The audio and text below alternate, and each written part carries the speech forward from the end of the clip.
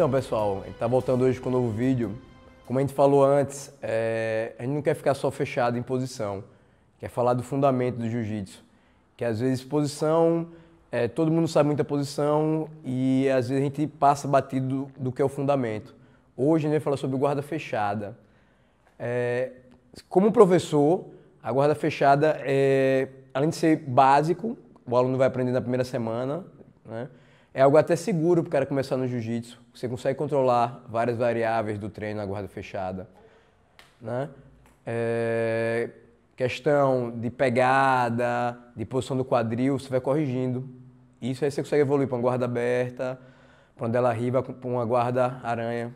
Na verdade, a fechada é a base para você conseguir né, escolher o que você faz de melhor. Aí hoje, estou aqui com meu amigo Matheus, faixa marrom do professor Laos, é aquele, um dos melhores guarda fechada aqui da, da GFT Sergipe. A gente vai discutir um pouquinho sobre isso de guarda fechada. A gente vai mostrar a posição, mostrar a variação e comentar isso do fundamento da guarda fechada. Então, pessoal, é, aqui na guarda fechada, como um professor, tenho vários detalhes importantes, pequenos detalhes, mas importantes para o meu aluno. É, quem está em cima, evitar fechar a perna, né, que aí eu não tenho equilíbrio, o cara me vira para o lado fácil. É, evitar tá botando a mão no pescoço, né, que aí o armlock. Sempre já começa a orientar seu aluno a trabalhar do umbigo para trás, aí tem a faixa, do nó da faixa para trás, né, postura. O, o que está em cima, a questão do pé, ter cuidado. Aqui, o cara vai me raspar para trás, quando deixo o meu pé aqui, eu engancho o meu tornozelo, você sempre está né, coordenando ele para ter essa mobilidade. Quem está embaixo, né, evitar pegar nas duas mangas, ou, desculpe, nas duas golas. Isso aqui, hum, na fechada, vai fazer força, não vai servir muito. Sempre procurar trabalhar braço, quadril. Quadril, ó, né, estourando pegada, jogando para o lado. Isso é o fundamental para a gente fazer na guarda fechada, para o iniciante.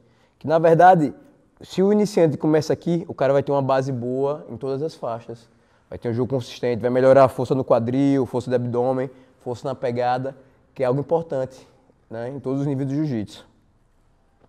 Neutra, segura, né? Daqui ele vai ter raspagem, triângulo, alguma coisa para fazer. Em cima eu tenho a opção só de abrir e passar, eu consigo controlar algumas variáveis do treino, principalmente com o iniciante né, para evitar lesão. Que é sempre, isso aqui, o cara né, não tem como pegar uma raspagem muito, muito grande ainda, é mais fácil você coordenar. Aí hoje o Matheus vai mostrar duas ou três variações né, na guarda fechada, que ele faz, faz em treino, em campeonato. São coisas básicas, mas que funcionam em todos os níveis. Tanto é que ele faz no campeonato até hoje. Então, galera, o detalhe aqui da, do bola-bola, que é a posição que eu gosto de fazer nas lutas, né, que é uma posição que surpreende por ser básica, né? Geralmente o, o, o iniciante ele aprende essa posição na, nos, nos primeiros meses de treinamento.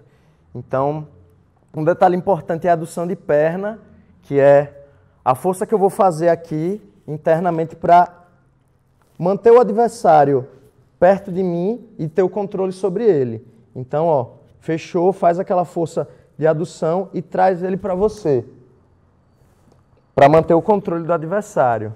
Aqui ele pode estar tá tentando abrir minha guarda com o cotovelo, da faixa para trás aqui, e aí se eu fizer essa adução eu vou manter ele perto de mim. Então, é nessa posição de trazer ele para mim que eu vou fazer a posição do bola-bola, né? Vou trazer ele para mim. Quando ele voltar para fazer postura, eu vou estourar a pegada. Estourei a pegada dele, vou estar tá firme aqui, vou tirar um dos braços e vou subir raspando, fazendo bola-bola.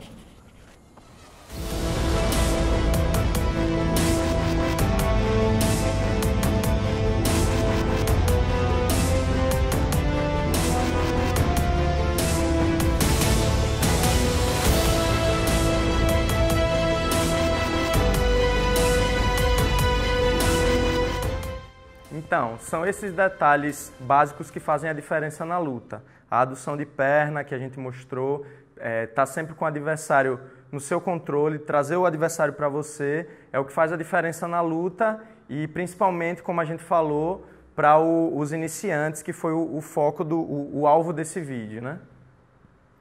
Então, pessoal, é, você viu que uma, um fundamento né, básico de guarda fechada tem muito detalhe técnico né, para ser avaliado e ser corrigido, que é assim, a guarda fechada, de uma forma geral, está na base da pirâmide. Eu não consigo fazer nada de guarda muito bem se eu não tenho uma guarda fechada boa.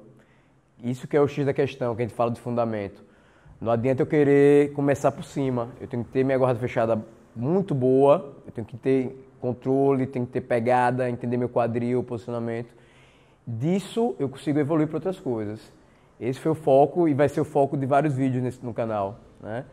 É isso, vou agradecer aqui a Matheus Oliveira, é, nickname Nervoso.